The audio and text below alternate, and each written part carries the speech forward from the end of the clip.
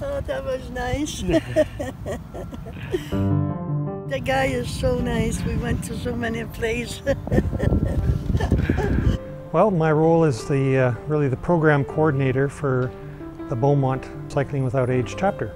Well, the purpose is to really have an opportunity to get people who are less abled uh, out on a bike to get the wind in their hair.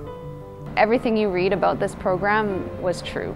The passenger I had was so happy to be outside.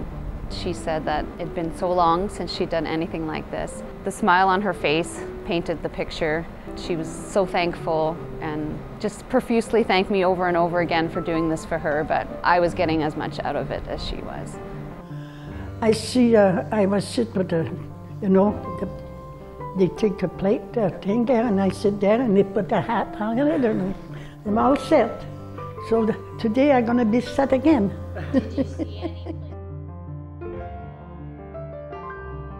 I anticipate that this could create more social interactions between our residents. I'm hoping that they talk about it with other residents and get to share experiences. Oh yeah, I'm gonna tell everybody.